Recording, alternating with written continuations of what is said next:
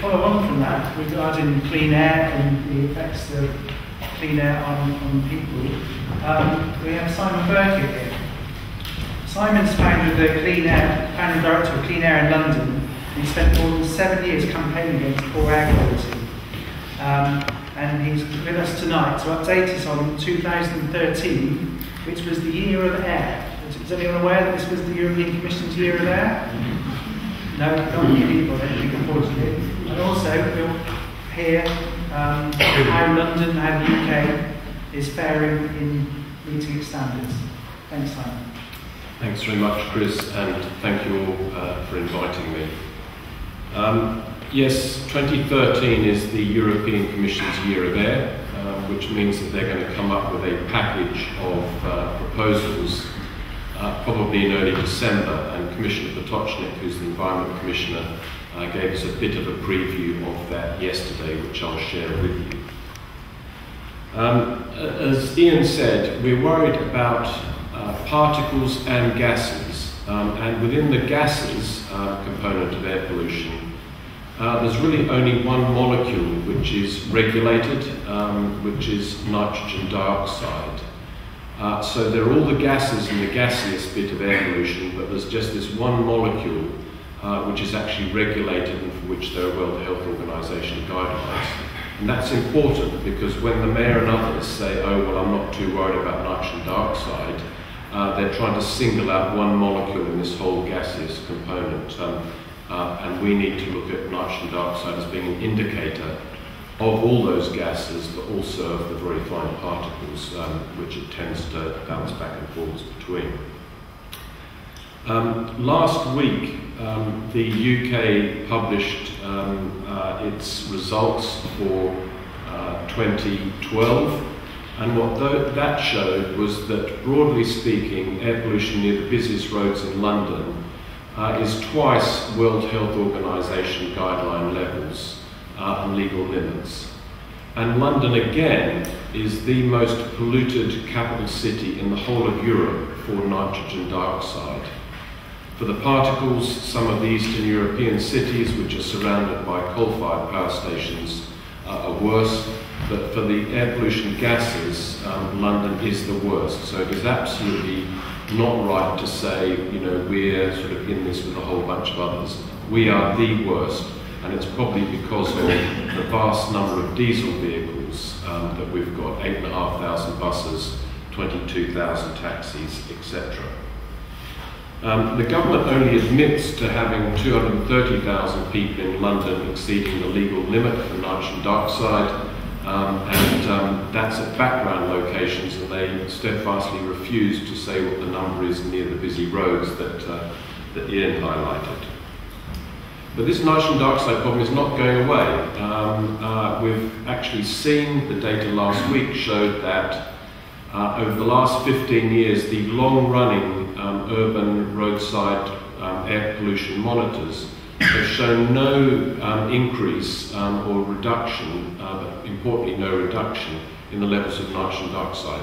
So this problem has been around and has been pretty static um, for about 15 years near the busy roads. And in part, that's because uh, the government has, successive governments, um, uh, have failed to control diesel exhaust. So we've now got um, about 50% market share of diesel vehicles compared to about 10% 10 years ago. Now, within Greenwich, um, uh, there's a, an app which Clean Air London has produced called the Clean Air in Cities app. And using government's own statistics, uh, to, as at today, 7.2% um, uh, of all deaths in Greenwich are attributable to long-term exposure to air pollution. That's just human-made air pollution. Uh, 93 deaths so far this year and population weighted levels of the particles, which we're also concerned about, are about 40% above the World Health Organization guideline. So be in no doubt that this is a big uh, problem, um, air pollution. Uh, the very good news is that uh, there are several bits of very good news, but the first bit of good news is that there are very, very powerful laws in place to protect people. They may be breached by a country mile, by a factor of two, But actually, the fact that they're breached does not give the mayor or others a carte blanche to sort of like keep breaching them. Um, the European Commission, um, uh, we're hoping will start infraction action, um, legal action against the UK um, in the next few months. Client Earth has uh, won a case at the Supreme Court, and that's been referred to the European courts to try and enforce these laws in the UK as well as ask the European Commission to help us. Um, those laws are very, very important. You only have to find one spot which is below this legal limit of 40 uh, micrograms per cubic meter, and it cannot go above that 40 level. Uh, so, in fact, last week um, uh, I submitted a 19 page letter um, of complaint to the European Commission about the removal of the M4 bus lane, because guess what? Um, they removed the M4 bus lane, which Sean would object to, I'd probably object to, but um, uh, in air pollution terms, my biggest objection to it was that they made not one single effort to mitigate the shift in diesel pollution from the outside lane to the near side lane close to houses. They made no effort to mitigate the increased air pollution for um, many hundreds of people near that M4. And what I highlighted in particular is the fact that uh, there were 35 locations, 35 houses, where pollution was going from below this legal limit to above it. And that is an absolute black and white breach of European law, which is totally unacceptable, and Clean Air London has asked the European Commission to investigate. Now, people are getting the message about this.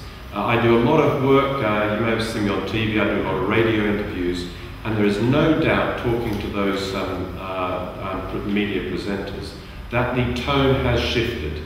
People are no longer asking, is this a problem? You know, London published um, uh, uh, details of diesel exhaust on 40,000 road links in London uh, that it had obtained from the mayor. And all the questions the media are asking are, what are we going to do about this problem? Who's going to sort it and when? And the top three solutions from Clean Air London, uh, which I told the BBC about a, a month ago, were first, we need to catch up with Berlin, which banned the oldest diesel vehicles, in fact, nearly four years ago. Um, second, we need to give taxi drivers choice. Currently, the mayor forces taxi drivers to buy one or other of two diesel vehicles. We need to allow taxi drivers to buy smaller petrol vehicles, and we need to retrofit fit filters, in effect, uh, to thousands of London buses, not just a few hundred, as, as the mayor proposes. And what you should all be asking, I would suggest, is why are you in Greenwich not getting cleaner buses, which is what, for example, Putney's got by making a fuss about air pollution? Why aren't you getting it? Why aren't we getting it in central London? Um, the mayor has got really a, a, very appalling track record on air pollution, and in, in particular, um, well, by the way, just Clean London is a cross-party campaign. It's very rude about the previous government, so it's very even-handed. Uh, but the mayor um, really has faults in two areas, I would say, so I would not trust him to say that he'll do something and sort it out. Um, uh, he's pursued vanity projects um, like the, the, Boris buses and things. If you look at his bicycles, um, they're hugely over-engineered. They're sort of like Rolls Royces much more expensive than the comparable um, uh, systems that you'd see if you go to Brussels or, or somewhere like that. Um, and uh, the airline, I think um, we'd all agree, is a joke. Um, but he's also taken backward steps on key measures like um, uh, delaying phase three of the low emission zone, uh, scrapping the western extension of the congestion charge. You know, you cannot trust him to tackle road transport problems.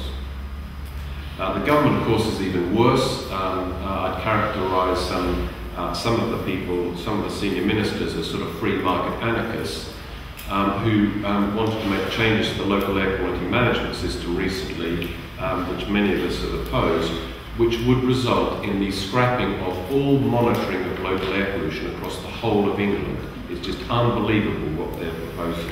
They don't want to have anything to do with this problem. They want to just brush it under the carpet. Now, the last thing I'd say is that um, uh, I think um, uh, Chris said it very well. You know, it, it's lovely to sort of say, look, you know, well, let's have a, a, bridge or let's have a ferry, you know, down at Gallions Reach or where it is. Let's have sort of, you know, these lovely things and we'll sort, just with a wave of a wand, sort out our problems. You know, we'll have the existing traffic and much more space. Well, you know, that's a nice sort of um, way to, a bit of spin. You know, I'm very persuaded by the evidence you'll hear from John and others that what happens is you build these things and they fill up, and you end up with more traffic than you actually had to start with. So it doesn't reduce the problem, it actually makes it worse. And I think what we need is that those who are in favour of river crossings, um, and there may be a way to do them, but those who are in favour of them have to be honest about what the, how they're going to mitigate how they will mitigate the increases in air pollution that will arrive from these mm-hmm. crossings. So, you know, they talk vaguely about saying, oh, well, we'd look at road pricing or we'd consider sort of, you know, low emission zones or something like that. They absolutely need to be pinned down and clear. They can't have it both ways. They can't say, we'll have a river crossing and we'll deal with the problems later. They must be open and honest about how they will mitigate the additional traffic that would pour into those crossings.